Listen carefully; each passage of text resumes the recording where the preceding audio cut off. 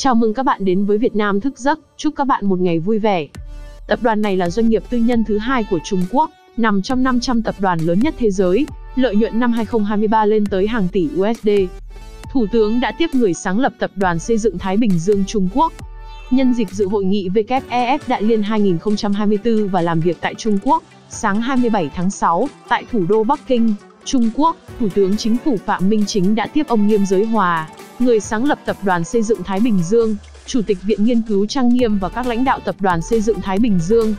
Nêu một số đề xuất và thông tin tới Thủ tướng về Tập đoàn Thái Bình Dương, ông Nghiêm Giới Hòa cho biết, Tập đoàn Xây dựng Thái Bình Dương là doanh nghiệp tư nhân hàng đầu thế giới trong ngành công trình và xây dựng. Năm 2023, Thái Bình Dương đạt doanh thu 79,478 tỷ USD, lợi nhuận 5,188 tỷ USD. Tại Việt Nam, tập đoàn tham gia các dự án xây dựng cầu Tứ Liên, tuyến đường sắt đô thị thành phố Hà Nội đoạn Văn Cao, Ngọc Khánh Láng Hòa Lạc.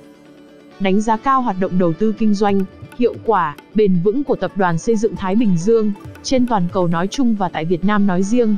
Thủ tướng Chính phủ Phạm Minh Chính cho biết, Việt Nam đang tích cực trong việc hoàn thiện thể chế, tạo lập môi trường đầu tư, kinh doanh thực sự thông thoáng, thuận lợi và các chính sách ưu đãi thỏa đáng, đặc biệt trong các lĩnh vực thu hút đầu tư.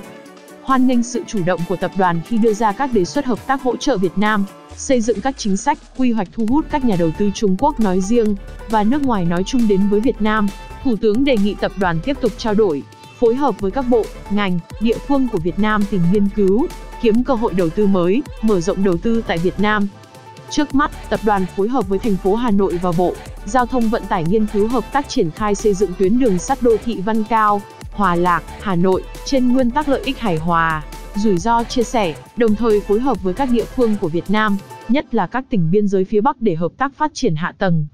Thủ tướng cho biết, chính phủ Việt Nam luôn đồng hành, hỗ trợ, tạo mọi điều kiện thuận lợi cho các doanh nghiệp Trung Quốc, nói chung và tập đoàn xây dựng Thái Bình Dương, nói riêng triển khai các dự án đầu tư kinh doanh bền vững, hiệu quả, thành công, bảo đảm tuân thủ quy định pháp luật.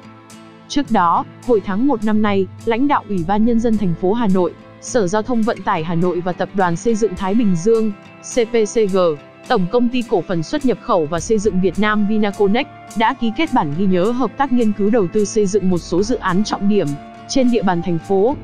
Theo biên bản ghi nhớ, các bên liên quan thống nhất cùng hợp tác, chia sẻ kinh nghiệm trong việc triển khai nghiên cứu các dự án hạ tầng giao thông trọng điểm của Hà Nội, trong đó tập trung vào hai dự án.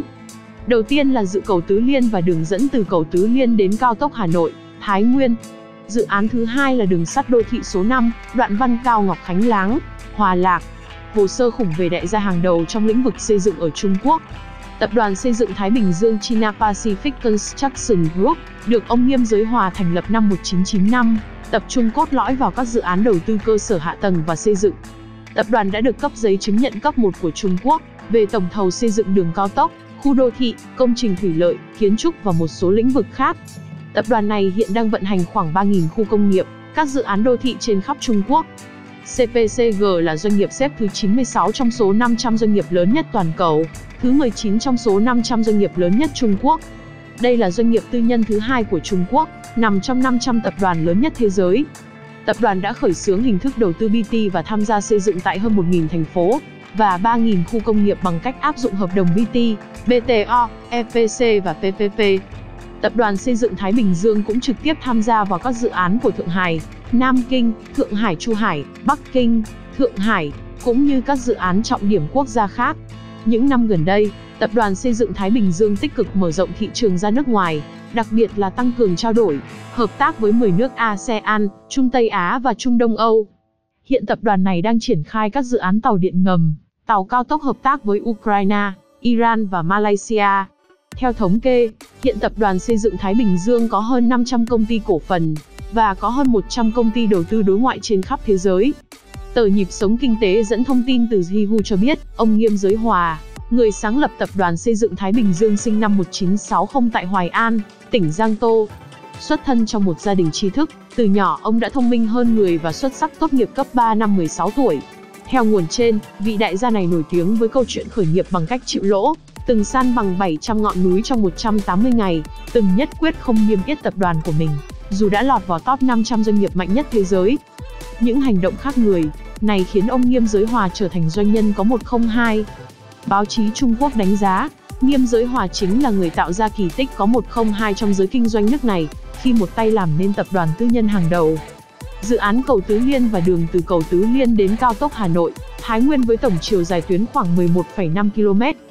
Trong đó, cầu Tứ Liên có chiều dài 2,9 km, trong đó cầu chính dài 1 km, quy mô mặt cắt ngang theo quy hoạch bảo đảm 6 làn xe cơ giới, 2 làn hỗn hợp và 2 làn đi bộ.